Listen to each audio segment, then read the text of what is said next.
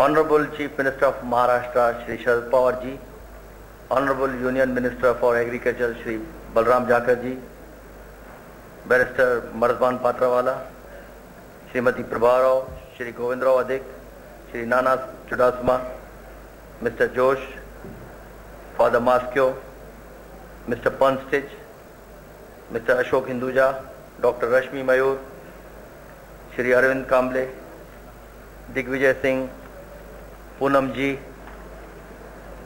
film star Meenakshi Seshadri, award winners, invited guests, His Excellencies, overseas dignitaries, special guests, members of the press, members of electronic media, ladies and gentlemen. Of late, many people have been asking me as to how I feel on Priyadarshini having completed a decade of its existence.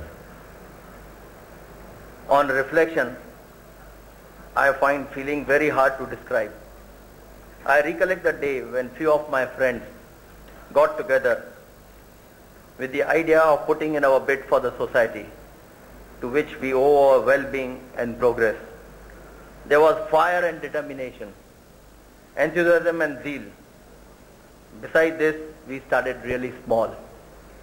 But today, when I look back, I feel satisfied and happy. And I'm really running out of words. But actually, I think I can never really be satisfied. There's so much to do, so many people to reach out, so many fields where our service need to be offered. And we promise to continue to work with renewed vigor and determination. On the occasion of 10th annual function of Priyadarshini Academy, I extend to you a warm and cordial welcome. This evening, I feel very proud and privileged to welcome the Honorable Chief Minister of Maharashtra, Shri Sharad Pawar. And I am grateful to him for accepting our invitation to preside over the function. The progress and well-being of Maharashtra state is largely due to his dynamism and unmatched administration skills, his vision and decision-making powers, his firm belief in liberalization, decontrol and deregulation, his unique skills of making cumbersome procedures simple has ensured Maharashtra a place well ahead of others. Under his leadership, Maharashtra state has received a proposal for investment of 1 lakh 3000 crore which is unparalleled in the history of India.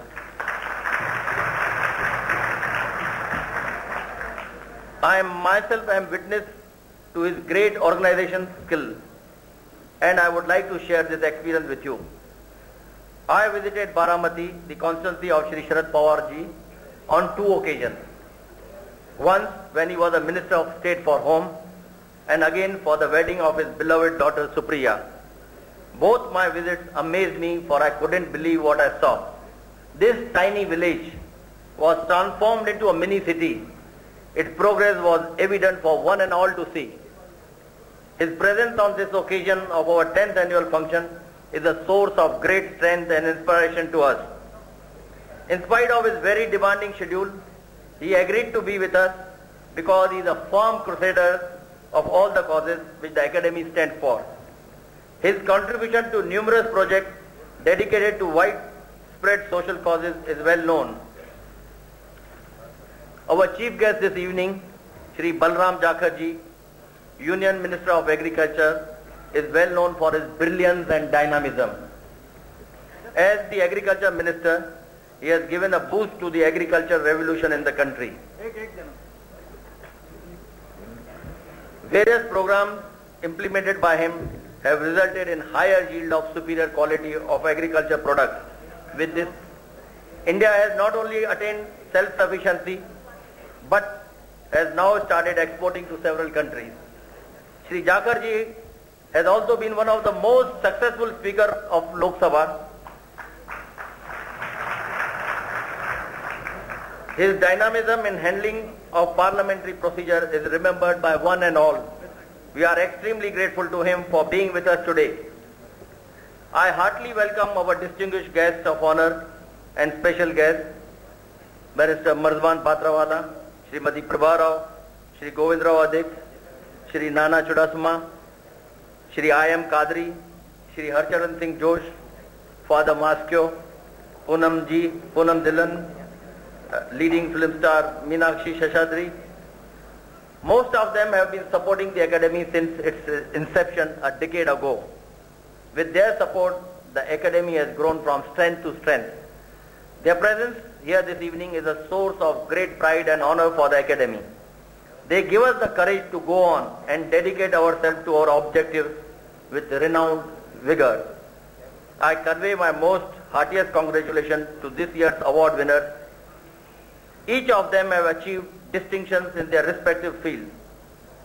Priyadarshini feels proud to have them in our midst and we would like to express our deep gratitude and respect for the glory they bring to our nation and to the entire world. Friends, last year we instituted a new award, the Global Award for Peace and International Understanding, which saw Priyadarshini going global. Last year's recipient was Daisaku Ikeda of Soka Gakkai International, Japan. This year, with the active support and cooperation of Dr. Rashmi Mayur, who is the chairman of International Relations Committee of the Academy, we have the privilege of honoring four international luminaries who have achieved excellence in different fields. Due to unavoidable circumstances, Dr. Noel Brown of United Nations is unable to be with us today. We have with us Dr. Carlos Hernandez from United States of America, Mr. Jyoti Shankar Singh of United Nations, and Tan Sri Kishu Tirth of Malaysia. We are, who are our global award recipients this year, each of them are institution by themselves. Their dedication and commitment to issues of global concern is truly noteworthy and highly commendable. I wholeheartedly welcome them and thank them for giving us the honor of their presence this evening.